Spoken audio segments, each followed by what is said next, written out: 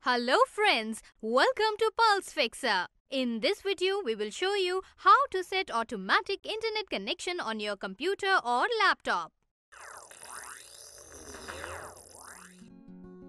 First of all, go to the Start button on your computer or laptop. And then go to Settings and then go to the Control panel.